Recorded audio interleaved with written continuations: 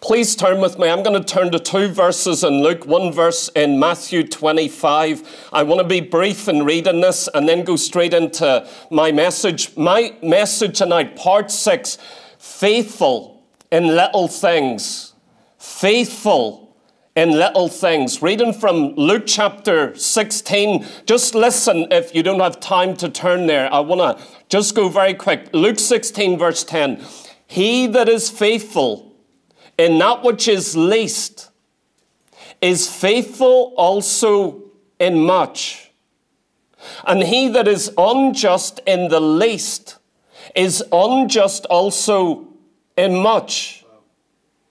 Then Luke chapter 19 and verse 17, just again one verse from Luke 19, verse 17.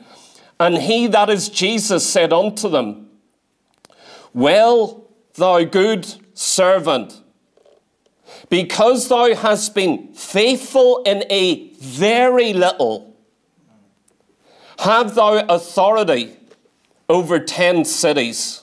And then just one last scripture here from Matthew 25 and verse 21. His Lord said unto him, Well done, thou good and faithful servant. Thou hast been faithful over a few things.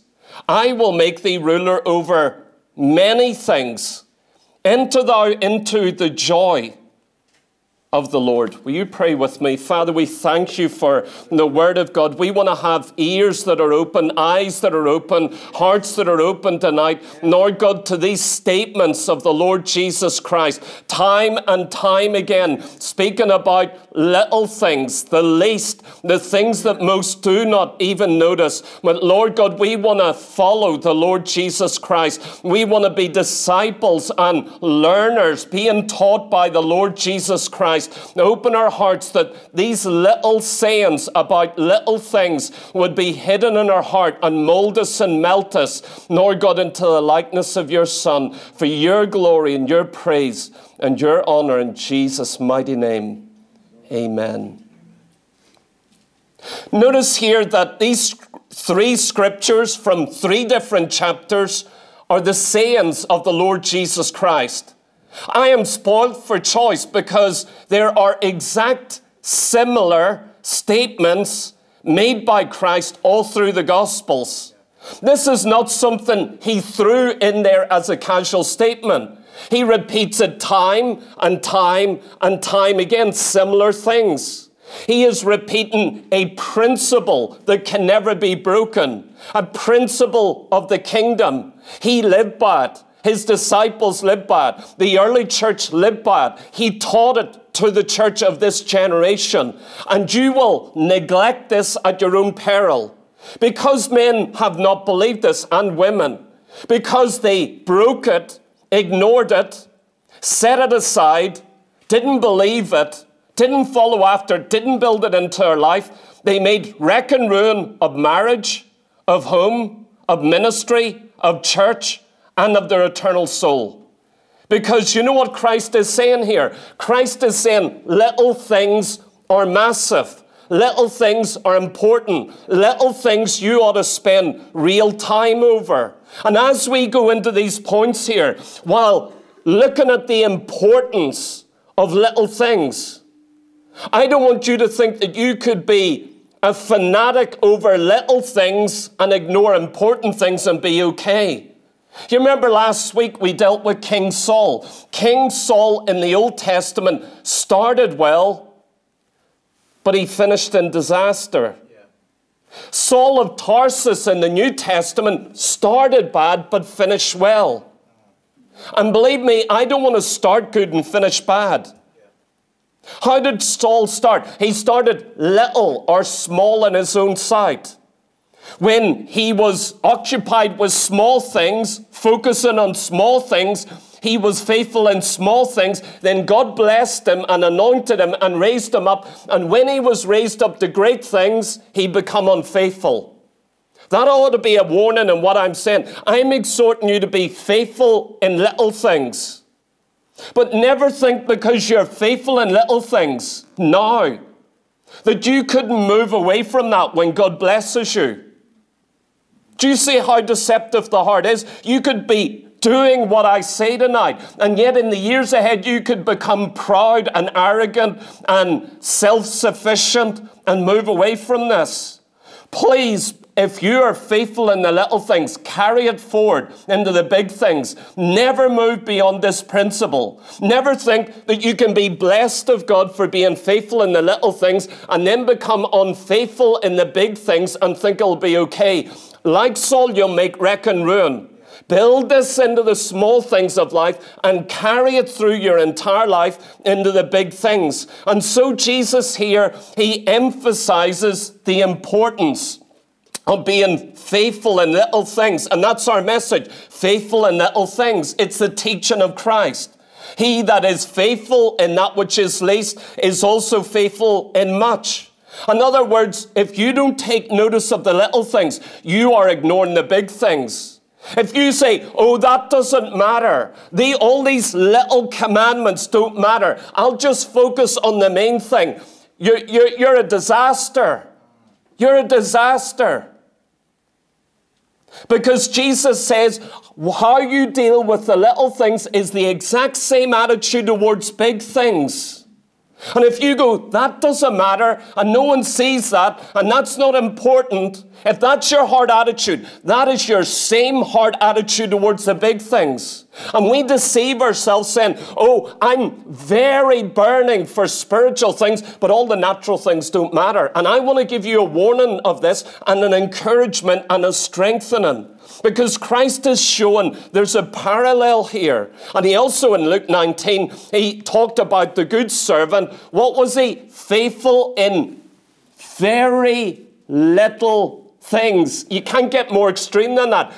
Not little things, very little things. You know what? Christ eternally on the day of judgment in the future at the judgment seat of Christ, he's going to acknowledge everyone that was faithful in little things. This is a big part of the judgment seat of Christ. Do you look at it? It's center stage. On that day, are you going to be one who he says to, You were faithful in little things? No, let me repeat that. Very little things. Things that no one else saw. Things that others thought weren't important. Notice what he says here faithful in little things. The word faithful is a very important word. It actually means to be trustworthy. You can be relied upon. You are dependable. You know, a, ch- a chair that's not dependable, you'll sit on it and it collapses. We've got one of those seats. There's five seats that are fine.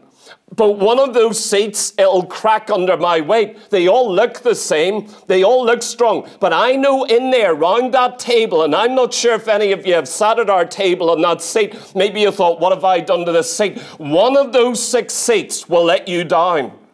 And you know what? I'm never quite sure. I hope Candace hasn't moved the seats around. One of them is not dependable. You know, when you know someone's not dependable, you don't put much weight on it. Or you're there going, is this going to hold me? Is this chair safe? Do you realize it's the same about people? You, you're either going to be faithful, trustworthy, loyal. That's what it means here. Christ is saying about being faithful in very little things. Are you reliable in very little things? Are you dependable in very little things? Do you have honesty in little things? Oh, with the tax books, I can just cut corners. Oh, in monetary things, I'm going to uh, preach ahead of myself. I better be very careful here. But are you sincere? Do you have integrity? Let me give you five points, and I might add a sixth just to finalize this. But there's five things I want to explain what it means to be faithful in little things. And I have five points here so that you understand what it means to be faithful in little things. I'm going to take the word little and expand it out from the teaching of the Bible so that when Christ says, you, You've been faithful in little things, you're going to understand what that means. Because it's very important that you're loyal and faithful and that you've got integrity in little things. What are little things? Little things are things that normally you don't notice. They seem insignificant. They seem unimportant. They seem like they, they won't even be taken account of. I want to tell you, God does take account of them. The Bible takes account of them. And this preacher takes account of them. And if this preacher does, I assure you, God does in a very real way. Let's look at these five things here and explaining what it means to be faithful in little things. First of all, faithful in natural things. To be faithful in little things means to be faithful in natural things. You might think that you're faithful in little things, but you're not faithful in natural things. What do I mean, natural things? I, do, I, I mean your workplace. I mean your family. I mean your house. I mean your everyday life. I mean the relationships around you, the people you meet. Faithful in natural things Christ is either going to commend you or reject you or reprimand you tonight. Have you been faithful in little things? It means to be faithful in natural things. For this, let me show you examples as we go through these points. My first example is Nehemiah in the Old Testament. You know what his name means? It means ripe fruit or to gather in the vintage. In other words, Nehemiah is marked. When you first see him, he has come to a place, there are years behind him. But he's come to a point in his life where his life and character, everything he is, he is ripe fruit. He is ready to be used by God. You see, if you're not faithful in little things, you'll never reach a point of fruitfulness where God says, Now you're ready. Now I'm going to use you. All of these years of being faithful and consistent and honest and having integrity. You see, God doesn't use you just today because you're honest today. He uses you today because you've been honest and been faithful and been reliable you know, some people could sit for years being faithful unnoticed, and in one moment of time, God lifts them up out of obscurity. Ananias in the New Testament, you only read about him in one chapter. You never read about him before that or after it. He appears out of nowhere. Who was Ananias? He was a disciple, not a preacher. He was a disciple in Damascus. And you know what? God had prepared him all through the years so that he's going to hear Christ in the middle of the night and he's going to go lay hands on Saul of Tarsus, a new convert. You realize God chose a man for a task, but it was years of preparation. This was a vital task. It's going to change the entire church. It's going to change the known world. That new convert's got to come in and be treated right. Who did he choose? Ananias. You know what I think? Ananias was a vessel in a church that sat there in obscurity, and he passed back into obscurity. But for that one night, for that one action, that one day, oh, what consequences in world history. Do you know one day we're going to meet Ananias? One of, one of these days we're going to see him. But look at Nehemiah. Nehemiah had a history of being prepared, and suddenly he come to a place of ripeness. Where did God prepare him? In natural things. He had a natural job. He wasn't a prince. He had no royal uh, line of David in his blood. He wasn't a preacher. Neither was Nehemiah a prophet. Do you know what he was? Nehemiah chapter 1, verse 11. For I was the king's cupbearer. He was a butler. He presented the drinks to King Artaxerxes. That was his job. He managed to get a remarkable job in politics, in civil service. Now, he wasn't a politician, but in civil service, he was working nine to five or whatever the uh, hours were. And he's there in the palace in this unique position. And you know what? He spent years in there. If he had been unfaithful, if he got fired early, do you realize what we'd be missing? Do you realize what would not have happened if he'd been lazy, if he'd had the wrong humor, if he made the wrong comments, if he took advantage, if he stole things from the palace and, and said, Lord, you know I'm a servant of God. He's a pagan. You know what that pagan king would have done with you? He would have had you martyred for the faith, I assure you. And the only thing is, you wouldn't have had any faith to back it up. And so we see with Nehemiah, he was a cupbearer, and it all led him to one particular day. Listen to what it says in chapter 2, verse 2 Wherefore the king said unto me, Why is thy countenance sad, seeing thou art not sick? This is nothing else but sorrow of heart. Then I was very afraid. Do you know why he was very afraid? Because you're not allowed to be sad in the king's presence. If that king got sad, discouraged, depressed, it could bring down the entire empire. So, whoever is in the king's palace, you've got to have the smile on your face. You better not disturb that king. You're only a cupbearer. But do you know what? Because this man the king knew he's faithful, he's reliable, he's trustworthy. I watched him every single day in this palace. He's my cupbearer. That you know what? As soon as he's got a frown on his face, he's sad. What's the problem here? And you know what? Nehemiah got scared initially. This is a man who has lived for being faithful in little things, and he's in the right place at the right time to do the will of God. He's only a secular cupbearer. And so we see faithfulness in natural things. Do you know being faithful as a cupbearer in the palace? Being a civil servant in Ireland, you don't know where that could lead you. For one day in history, one moment in time, you could be in the right place at the right time, speaking to the right person, and it could have wide consequences for the nation or the church. Do you know all through the Bible? I'm giving you principles that you can find from Genesis to Revelation. Faithfulness in natural things. Natural things, we often in the church, we think natural things are unimportant. They're little things. They don't matter. I want to tell you, little things, natural things are very important. God cares about how you work. God cares about everything you do. God cares how you treat people and speak to people. God cares about the natural things of your life. God cares how you deal with everything in your life. And He did with Nehemiah. And so He knew with this man, He'll have him in the right place at the right time. When you go over to the New Testament, you see a problem that arose in the natural church, uh, uh, in, uh, the New Testament church, over natural things. In Acts chapter 8, we read that the 12 apostles are dealing with the multitudes. And you know what the problem was? A load of widows. There was such a revival, such an ingathering of souls that all these poor Grecian widows, they're fighting and bickering with one another. And they're saying, You got more food than me. You, you're getting more than me. I got missed out last time. And the 12 apostles are doing this task in a revival. And you know what? They gather the whole church and they say, We shouldn't be doing this.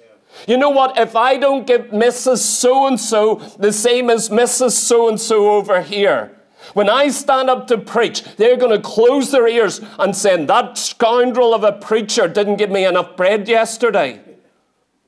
That's literally what happened.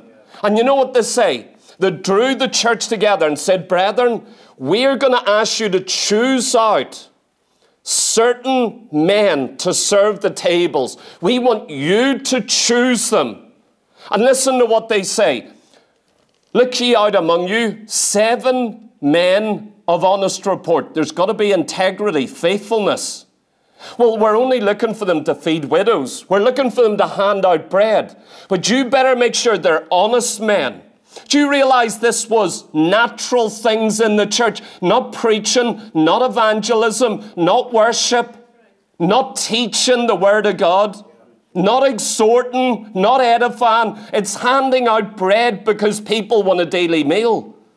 And you know what? They choose these seven men, make sure they're honest and filled with the Holy Spirit. You know, an honest man's going to make sure he's filled with the Holy Spirit. That's one sure thing.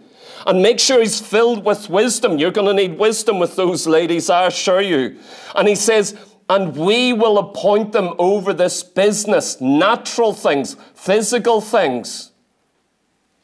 See, in natural things, natural things are important. You need to be faithful in them. Do not put one man into that job who's not faithful. I don't want anyone doing natural jobs around the church. I don't want them painting the walls. I don't want them hoovering the carpet. You know, I've said this for years.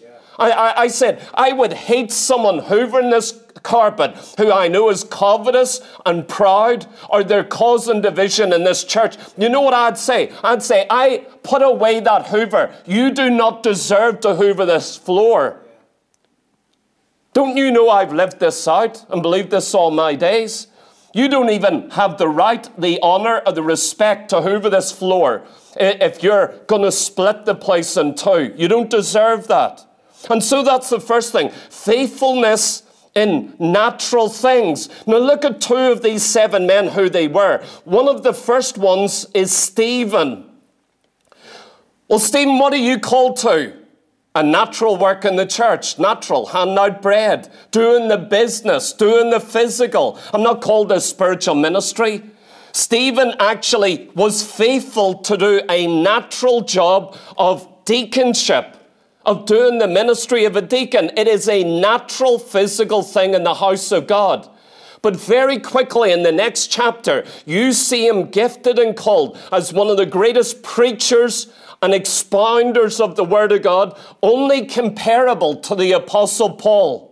Do you see what faithfulness in natural things do? Today, a man who is faithful in natural things, normal things, secular things, tomorrow could be anointed as one of the greatest Bible teachers. And it's all because he was faithful in handing out bread. You see, in our minds, we see no connection between handing out bread to widows and standing up in Jerusalem and preaching to that generation in that city. We don't see the connection, but I do. The Bible connects it and says a man who would not be faithful handing out bread to widows, that the apostles could go and minister and go and pray. You've got no right. Don't think God would anoint you greatly in this generation. Or what about the second one named in the list? His name is Philip. Anyone ever heard about Philip? Here he is. He's in the midst of these boisterous widows. All the noise and the sweat said, Oh God, give me wisdom here. And before very long in chapter 8, what do you see? You see the same Philip, anointed of the Holy Ghost, a soul winner who goes down to Samaria, preaches the gospel, and the entire city gets saved. And miracles are done, and demons are cast out, and the entire community is changed. Where did that begin? It began with a man being faithful in natural things in the house of God. You see, some people despise faithful things. I do not, and I never have. You're going to find these five points that I give you are intertwined. I can hardly separate them. It was very difficult because when I done point one, then I went to point two. I went, hold on, I can't separate. What do I use in these two points? Because they're so similar, yet they're so different. And you're going to see that in a second. So, number one, faithful in natural things. To be faithful in little things is to be faithful in natural things. You could despise natural things, not realizing these little things, natural things, are what Christ notes. He's actually looking at these natural things, saying, These are the little things I count as faithful. I look for faithfulness in them. Saints of God, make sure you're faithful in little things, natural things, whether in the workplace or the home or in the church. They're natural. Never let your mind say, because they're natural, they're not spiritual. Do you realize that's a lie from the devil? Raising a child, don't think that's natural. That is not just natural. Faithfulness needs to be in that in order to be blessed of God. Remember, Philip, a little bit later, God moves him from an entire revival, citywide revival, and he takes him out into the wilderness. Where? For one soul. A man who doesn't understand the principle of being faithful in natural things, that to hand out bread to widows will lead you to revival in a city. If you don't understand that, you would never leave an entire citywide revival to go out into the desert and stand there alone going, Why has God brought me here? For one soul. Because you'll start saying, What's the point of this? God can't be in this. This isn't worth it. God would never lead me out of multitudes getting saved for this. Do you see how you've got to be careful about little things? One soul, if it's in the will of God, is more important than a city. Second of all, faithful in other people's things. Boy, we're getting into it. I, am explaining faithful in little things. So there's the second definition, not only natural things, but other people's things. This may be sore for some. You see, I see a principle all through Scripture where there is to be faithfulness in other people's things. Maybe you're faithful with your own things and less faithful with other people's things. That reveals an attitude not towards me or them. You may say, but they are unsaved. You know what it's revealing? An attitude of heart towards the Lord Jesus Christ. If you're unfaithful, saying, oh, but that's theirs. If, if I've got a car and it's my car and I've paid for it, I'll look after it. If I've, I'm using someone else's car, I'll rake the guts out of it, as we used to say as young guys. Or if I borrow a lawnmower from someone else, doesn't matter if I go over the stones, but if it's mine and I've paid for it, no stone is going to break um, um, my, my blade as it goes around. Do you know that's all an attitude that God takes note of? Are you faithful with other people's things? Let me give you the examples. Exodus chapter 3, verse 1. Now, Moses, you know who Moses is? Do you know how often Moses is mentioned in the Bible? Moses kept the flock of Jethro, his father in law, 40 years. He fled from Egypt and he ends up at the backside of the desert. What's he doing? He's looking after sheep. Do you know why he's looking after sheep? Do you know why this is there? It's God's plan. Faithful in other people's things.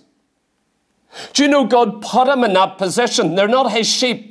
At the end of 40 years with Jethro, he doesn't have his own sheep. He doesn't have his own herd.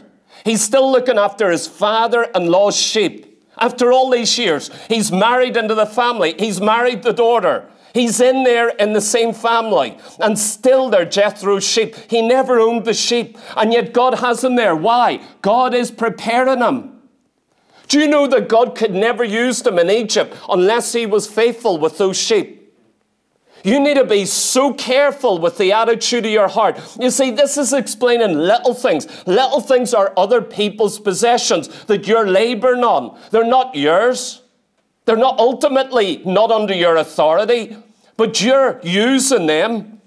And so you see here that he kept the flock of Jethro, and he led the flock to the backside of the desert, and came to the mountain of God, even to Horeb, and the angel of the Lord appeared unto him in a flame of fire. Where did God find him? Being faithful with other people's things. Where did God prepare him? While he kept other people's things. Where did God come to use him? While he was keeping other people's things. Let me take you briefly all through Scripture. Remember Saul we dealt with last week? What was he doing? He was going looking for his father's donkeys, keeping them, looking after them, managing them. That's where God found him and anointed him. I'm going to choose you as the king and anoint you. He was looking after his father's donkeys. What about young David? He was keeping his father's sheep on the hillside. In fact, way out from the family, they had to send for him. Why? Come, the prophet is calling. He won't do anything until you, young shepherd boy, come in here. And he gets anointed of God.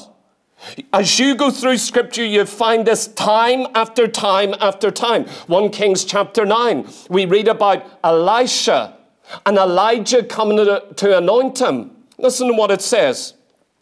Elisha, the son of Shaphat, who was plowing with 12 yoke of oxen before him, and he with the twelfth.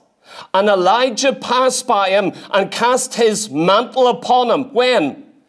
He's plowing for his parents, for his daddy. And he's got that, I mean, he has got a business going here. He is plowing. He's not lazy. He is in the field plowing. Do you know how many times in the Bible it notes about those who are laboring in the natural things? They're being faithful in the products of other people, for parents, for family, for friends, for community, and they're laboring away in these things, and that's where God finds them.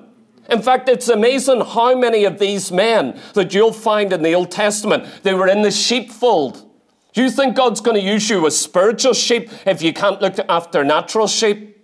Maybe how you conduct yourself in your workplace will depend on whether God uses you in ministry or not. I wonder if that was the condition of God using you to do miracles, cast out demons, to heal the sick, I wonder how it would affect you. All through Scripture, you find this. And so the anointing of God comes upon Elisha right in the midst of plowing. When you come to the New Testament, where did Jesus call to preach the gospel? Where did he find the disciples? Well, he found a tax collector there doing his job. The other disciples, he went out, and as they're throwing out the nets, he said, Come follow me to preach the gospel. You're fishing, but I'm calling you to be fisher of men. When did Peter get the call? When he's using a physical net, he's a big, hardy fisherman. And God calls him right in the, eh, in the throwing of the net to fish after men. What about John the Apostle? What is he doing the first time Christ meets with him and calls him? You know what he's doing? He's mending the net. The word mending there in the Gospels means to restore or repair. Notice that. That's no accident. Do you know what he's doing in Revelation? He's restoring and repairing the church. Peter brought the harvest in at Pentecost. John is an old man. He's repairing the churches, bringing them in. It, it's all connected. Do you know that God had me in the army for a particular reason? I'm going to have to fight some wars in this church, I can tell you. And he uses all those natural principles. That's why I understand authority and submission so well. That's why I understand order so well. That's why I understand the church so well. All those things that are basic out there. My point, second point, faithful in other things. 42 years old. Until 42 years old, I was faithful in other men's things in ministry. I didn't build my own church, didn't build my own ministry, didn't serve myself. Until 42 years old, I was happy to serve everybody else in ministry. 42 years old. Do you think God is quick in preparing people? You see, faithful in other people's things is absolutely vital. If you can't be faithful with another man's ministry, God will never raise you up ministry. Never. Why would He? If you can't be faithful in this church, why would He send you out to do something? Why would He? I'm showing you what faithfulness in little things, it saturates your entire life. Third of all, faithful in financial things.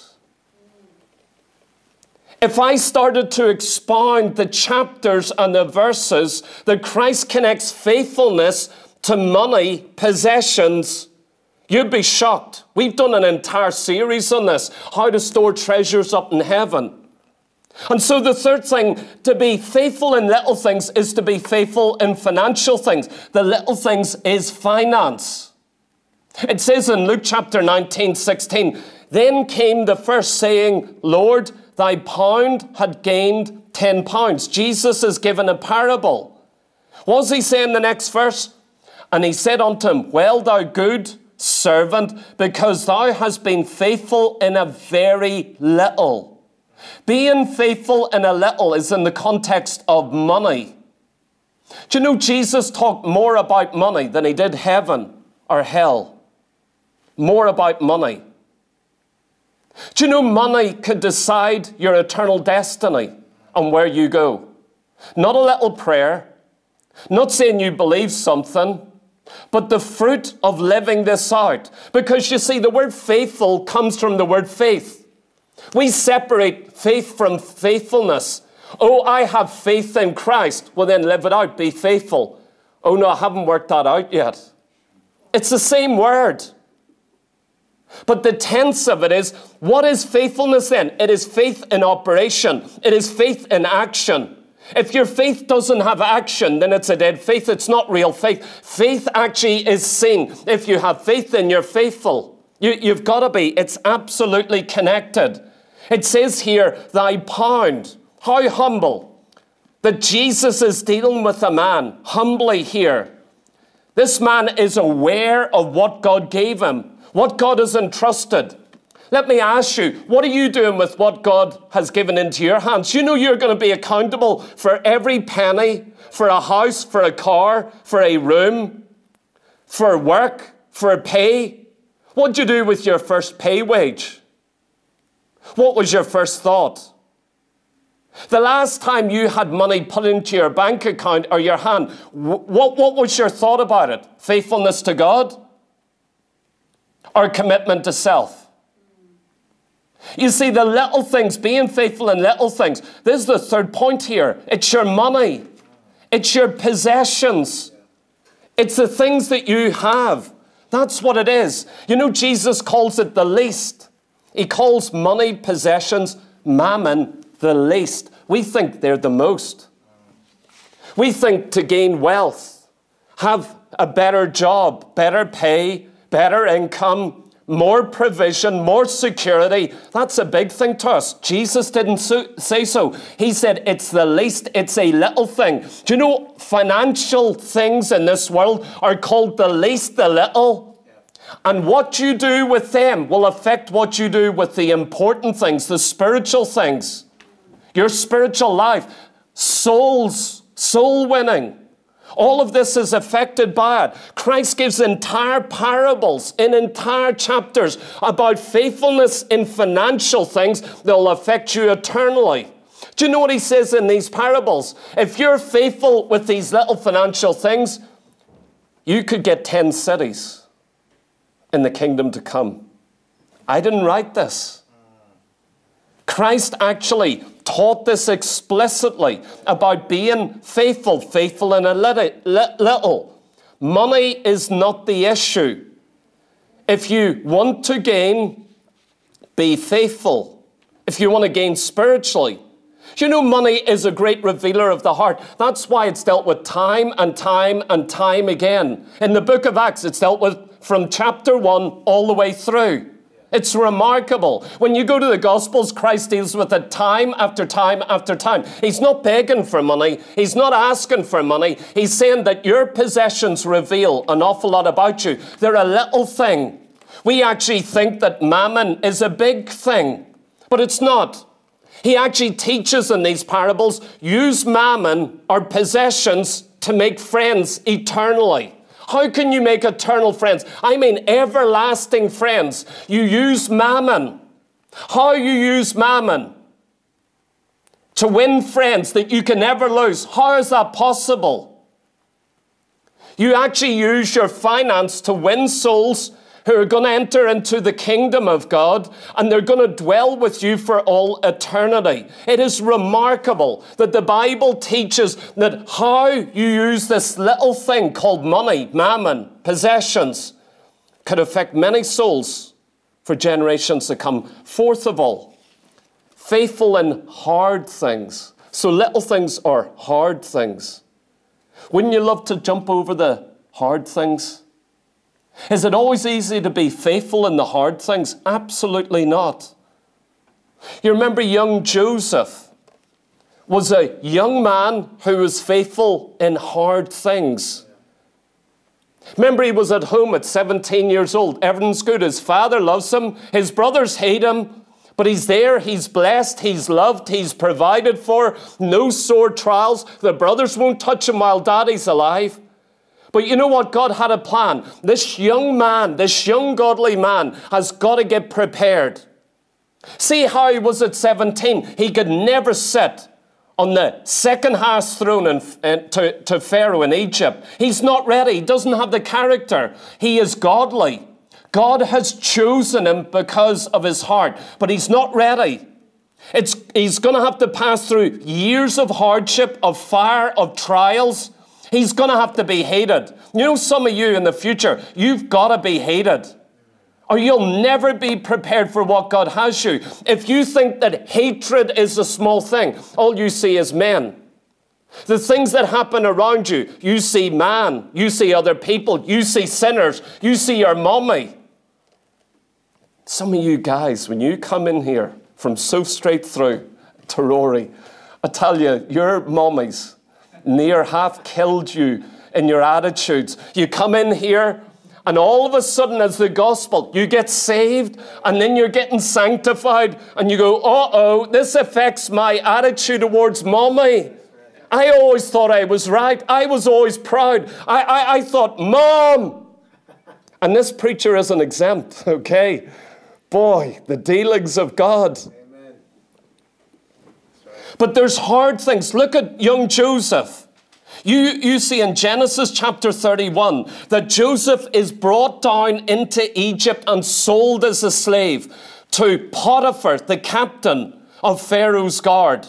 He stands on the stone and they say, highest bidder, we're selling this young boy, 17 years old. Don't you know God's plan is in this to prepare in the hard things? The hard things are the little things. It's very hard to accept that hatred towards you, being sold by your brethren, becoming a prisoner, becoming a slave, working in Potiphar's house, it's very hard to believe these little things are of God. Are you going to be faithful in the hard things? It's very easy to be faithful in the easy thing, the blessing of God. God's blessing me and prospering me. What about when you go down to Egypt? Down into captivity? Can you actually see God's hand in this? You know the story. He didn't see it. He's looking up this way. You're looking back and saying, sure, we know it. We would have, we would have walked through that easy enough. But you know what? In chapter 39, he's sold into Pharaoh's house. And it says, and the Lord was with Joseph. He, and he was a prosperous man and was in the house of his master in Egypt. And his master saw that the Lord was with him now, look, faithfulness, you are in a hard time. You are suffering. You have been hated. You have been sold. You are a prisoner. You're in an environment working for a man, and you don't want that. Do you realize how bitter he could have become? Do you realize how resentful? Do you realize he could have started saying, This is not God's will for my life? I've got dreams. God gave me a dream that all my brothers are going to bow down. Here he is. He is a servant. He is a slave. He is serving a man in his house. See how these, all these principles run together. I can hardly separate these points. It's remarkable. And you have here that Joseph's got to be faithful. Do you know what? His heart was right with God, with man, and with his situation. I think some of us would have got there and said, I'm not serving this man. I'll sabotage his house. I'll turn off the taps on his water. I won't light the fire for his hot water. I hate this situation. This is not God's will for my life. This is not God's plan for my life. I, I, I, and you'd become twisted in character. And that's hard situation that is meant to prepare you for one of the greatest callings of any generation, you would actually nullify it because you can't see God's hand in it. They're hating me. God, why are you allowing this? Because I'm trying to make you into a vessel that I can put right next to Pharaoh and to save all the people, to feed all nations. Do you realize with a great call, a great plan, a great vision, a great dream from God, there are hard things you're going to go through. God will go over you with a steamroller. God may break your heart. God may allow people to turn against you that you never expected. And you're either going to get better or better.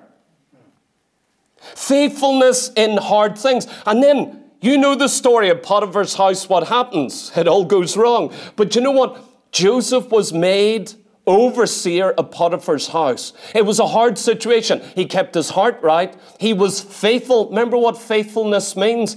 Reliable, trustworthy. Could Potiphar trust him? Yes. Did Potiphar look at him and say, I can trust this man. He is faithful, he is honest, he is upright. I can depend upon him to such a degree I can put him over everything in my house. And then it all goes belly up. What happens next? He goes into the prison and he begins to interpret the dreams of other men.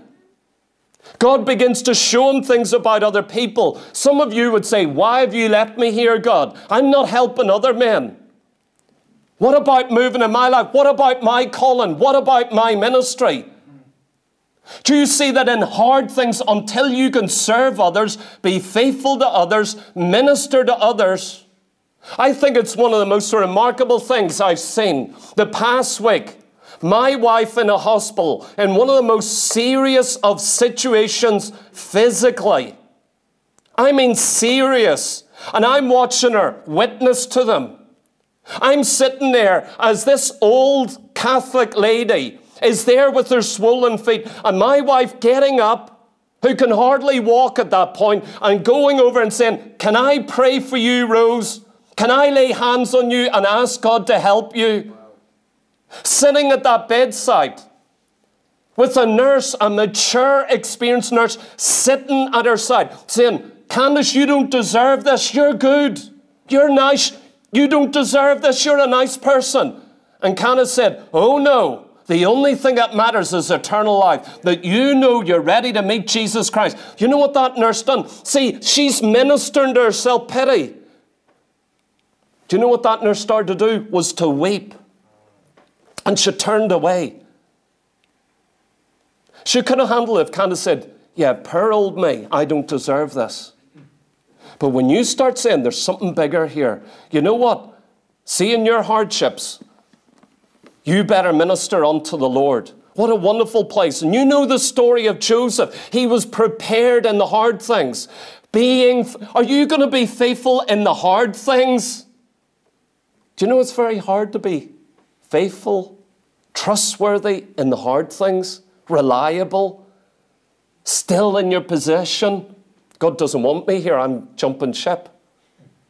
Then you will not be ready for what God has for you. Do you remember Patrick? You know, Patrick, they call him Saint Patrick. But he was Patrick, a real preacher of the gospel. If you read his letters, dynamic. Do you know that he was a sinner at 15 years old? He was a rebel. He used to laugh at the preachers, the elders in the church. They would rebuke sin, deal with sin. And at 15 years old, he would scorn them, laugh at them, and reject them. He was an atheist in heart. His family were born again. His grandparents had been born again. And yet he was sitting there in church saying, I don't believe this. Patrick, in the fifth century, and you know what? God had a plan for his life. And you know, you know what happened? The Irish, some of your ancestors, the Irish invaded on their boats and they raided, killed servants, and they captured this young 15, 16 year old and they carried him away to Ireland to, to Slemish Mountain in Antrim. And for the next six years, he looked after, watch it, not just sheep. It was sheep, all right, but it was a another man's sheep in a hard situation. What are you going to do, Patrick? Do you realize in that six years, as a prisoner in a foreign land, looking after sheep, another man's sheep, do you realize that was God's plan to raise up the evangelist, the apostle to reach the Irish people? Do you realize that was God's plan? And yet, in hardship, we misunderstand it. In these little things, hardship is little things. You know what? All we see is, this is against me. No, it's working for you, but you won't see it for six years or maybe 20 years. What you think is meant to destroy you could be the very thing to make you into a man or woman of God. It was with Patrick. And so God placed him amongst the Irish as a slave. He's learning the language, he's learning the uh, local culture, he's learning about the people, he is praying, he is fasting. Hundred times in a night, he said. He said when it was cold and raining and the frost was on the ground, he would get up to pray. That's faithfulness, isn't it? He's a slave, he's not lazy. He is reliable. I believe he was very faithful over those sheep. I believe not, not, not one wolf came or one fox came and stole any of those sheep. I believe he watched over them. He fed them well. They were some of the best sheep on that hillside, I can assure you. Patrick watched over them. You know, William Carey, the great missionary that reached India with the gospel, six years, sorry, seven years before he saw his first convert. baptized him in water, then he backslid. I know very few preachers today would labor in a country, a city, a nation for seven years, get one convert, and they would stay there. Do you know what William Carey said? He said, if anyone is going to speak about me, one thing they must say, I'm a plotter. That's a rough way of saying I'm faithful. You know what? I just keep going. It gets tough. I don't understand everything. I have thoughts, I have emotions, I have feelings. I feel like throwing the towel in. I feel like I can't do this. But you know what? I just keep going forward. I just keep taking the next step. You know why? I want to be faithful. I'm serving God. Fifth and finally, here, faithful in unseen things. I'm describing little things, being faithful in little things. It's remarkable.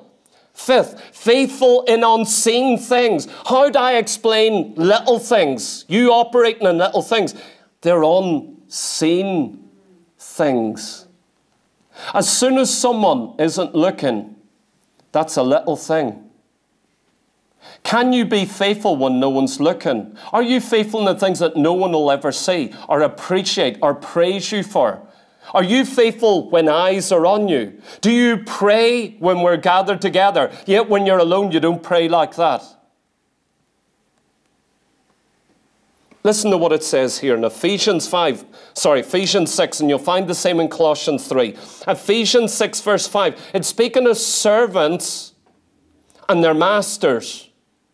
The servants in that hour, they could be anything from slaves who've been bought and they're owned by a master, all the way through to someone who's just hired nine to five. Now, I want to pay you a wage every day, every week. It's a business, it's the workplace.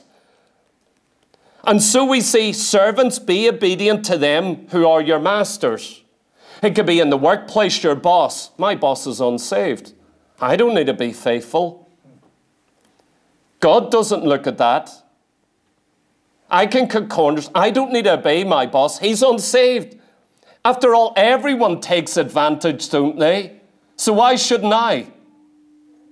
Well, let's read the scripture and find out. Are you faithful in unseen things? We think it's okay to be unfaithful if we don't get caught. If we see the speed in van, our speed in the car changes. We see it down the road. Why are you slowing down? The van's there. Then the van's round the corner. You fly round the next corner. Do you realize what that's revealing? You've just said the only reason you're keeping the speed limit, and again, aren't we prone to it? This preacher, I assure you, is not beyond that. Servants, be obedient to them that are your masters, according to the flesh with fear and trembling, in singleness of heart as under Christ. Your secular boss, you're to serve him as if you're serving Christ. That's what the Bible teaches. If you don't, Christ notes it.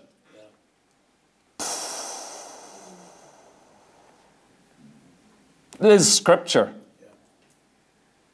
Not with eye service. Notice this. Not with eye service. Do you know what the word eye service there? It's a very old word. Do you know what eye service means? And he's telling us here, do not do it with eye service. What is eye service? This is it. You work hard only when you're watched. You need an eye kept on you at all times, or else you won't do it faithfully. And so the Bible says, do not do it with eye service as men pleasers focused on man. If you're a Christian in the workplace, your work ethic is to be radically different. Radically different. You do not fit into culture. You don't learn it from those around you. You don't work like those around you. You have a different work ethic. You know what? You're not serving your boss. You're not a banker. You're not a mechanic. You're not selling something. You're not a chemist. You're not selling uh, sandwiches in the shop down the road. You're not just a school teacher. Do you realize that's what the Bible says? You're, you're not serving those men or institutions, but my boss is wicked, lazy, irresponsible. You're serving Christ in that workplace. You need to have that fixed. This is a little thing. This is one of those little things you could ignore so easy and miss and yet not be faithful in little things. But I'm pointing it out, I'm emphasizing it, not with eye service as men pleasers, but as the servants of Christ, how you work in the secular place. Do you realize in the first century there were some men who were slaves, who had been bought, who had no rights, and yet the Bible is preaching you're serving Christ in that place. You're not serving a slave owner. If you can get free, praise God. The Bible doesn't teach slavery, but it says if you're in that situation, then serve Christ, not a slave owner. Patrick done it. And he changed an entire nation. Do you realize how you operate in the workplace could change a nation? It did with Patrick. This nation was changed by a man who served his slave owner, who looked after his sheep. All these points flow together in a remarkable way. But it goes further. But as the servants of Christ, doing the will of God from the heart, right from the heart. Same with school. My school teachers. what about doing it unto Christ? Yeah. From the heart. Do the will of God in that environment. With goodwill, doing service as to the Lord and not to men. Do you get the message in this? It's remarkable teaching. This isn't the sort of scripture the average Christian memorizes in their spare time. They usually memorize, You're going to bless me. Every blessing is mine in Christ Jesus. Scriptures like this where I say, with goodwill, doing service as to the Lord and not to men. You're not serving men. See, in this church, you're not serving men. In your workplace, you shouldn't be serving men. In your home and family, you shouldn't be serving men. Wives, do you think it's your husband you're serving? Children, do you think it's your parents you're serving? Or is it Christ? See, as a child, it was once my dad disciplined me, punished me, and I, I knew he was wrong, but I understood why he thought it was me. I hadn't done anything wrong, but he thought I had. And in my mind and heart, I said, Lord, he, he thinks he's doing the right thing, but I'm submitted to you. I love you. It affects my whole life yeah. in every area. So, faithfulness in unseen things. And you find the same thing in Colossians chapter 3. As we close here, all of these things, faithfulness in these five points, flow into your spiritual life, in the ministry. Those are the little things I've mentioned. I mentioned five things that are the little things, the normal, natural, hard things, the financial things.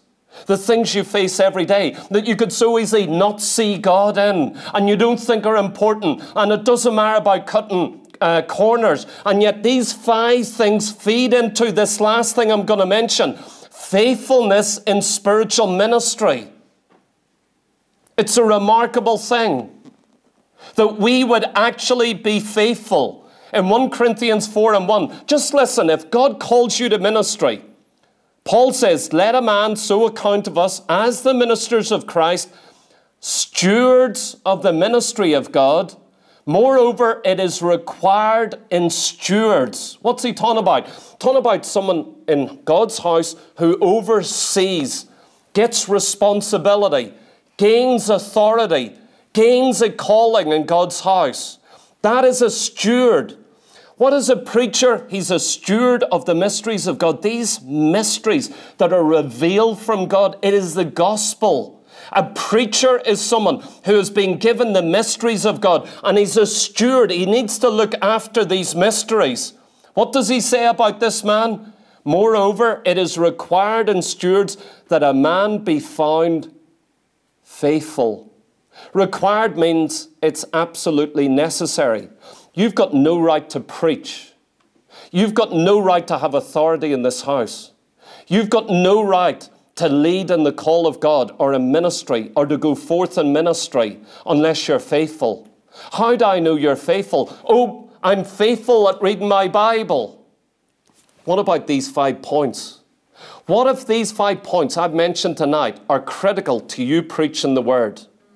Doing evangelism, doing worship, being in eldership, being effective in spiritual ministry. What if these five things actually were the qualifiers or the disqualifiers of you really serving God or having the call of God upon you? Well, can I tell you they are? They are. If you ignore these five things, you are damaging the call of God in your life. You're actually, if you're unfaithful in these five things, I promise you, you're going to be unfaithful in spiritual ministry. You would not be faithful. Show me a man unfaithful in these five points. I'll show you a man who will not be faithful in preaching the word of God. You may say, I wouldn't change it. I'll be faithful to speak what you give me. I'll study the Bible. You won't if you're not faithful in those five things because they mark you. These are the little things. If you can't be faithful in the trials and with money, if you can't be faithful with other people's possessions, you'll never be faithful with God's word. Because how you serve man, how you respond to others, whether in church or work or home, you're not dealing with me. You're dealing with the Lord Jesus Christ. These scriptures teach this. And in Nehemiah, way down the road, when others were being unfaithful, when men who started well and led the way and were in high priestly ministry in Nehemiah, when Nehemiah comes back and he says, What have you done to the revival? And he puts them out of ministry. Do you know who he looks for? Listen this as I close. Nehemiah chapter 7 and 2. That I gave my brother Hanani and Hananiah, the ruler of the palace. These two men Hanani and Hananiah, he made joint rulers over the entire city of Jerusalem. He put all the unfaithful men out of ministry. All the ones who started well and weren't finishing well, he said, You're excluded from ministry. But he looked for two men and said, You've got the responsibility. Who are they? Ha- Hanani was the one who came to him in, in chapter 1 saying, The remnant are suffering. And that broke Nehemiah's heart. And it, he led, it led him to pray for three months. That was him. But listen, Hananiah was the second one. Listen to what he says about Hananiah. For he was a faithful man who feared God above many. This person came out of nowhere. But I tell you, Nehemiah noticed him and he said, You know what? He's more faithful, reliable, trustworthy Maybe he was a pen pusher. Maybe he was a wall builder. Who knows? After all, you're dealing with a man who was a cupbearer who became a revivalist. And so he said, This man, Hananiah, is faithful. I'll make him ruler over half the city. And you, Hananiah and Hanani, don't let anyone in through those gates who shouldn't come in. I'm giving you a responsibility. Don't let anyone come through there in the Sabbath. Don't let anyone buy and sell on the Sabbath. Don't let any of those foreigners in this gate. And you know what? He knew they were going to do it. And that's why he made them leaders in the city of God. What I'm telling you tonight, it's affected my life, it's affected Candace's life, it's made us who we are. What we done in the unseen when no one else looked, you ask her, and I'll tell you what I done. Remember cleaning under that seat? I know I've almost sworn that statement out, but I can give you other ones.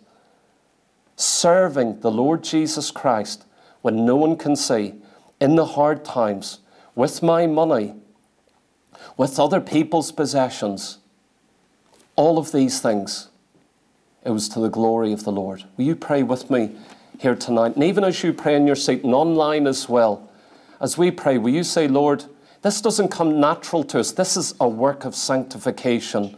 It takes God's grace. Maybe I've touched on something tonight and it needs to be revolutionized.